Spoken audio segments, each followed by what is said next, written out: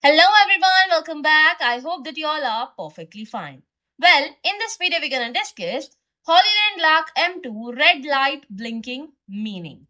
Well, whenever you are using your Hollyland Lark mics and you will see a red light on the place of green light where the green light is here on the receiver as well and on the mics as well. Phone charged 80%. can see, like if you have seen a red light here, then it means that you have to put your mics onto charging because there is a limit that these will put on charge and these will not in use anymore. You have to put it onto charge if you want to use these.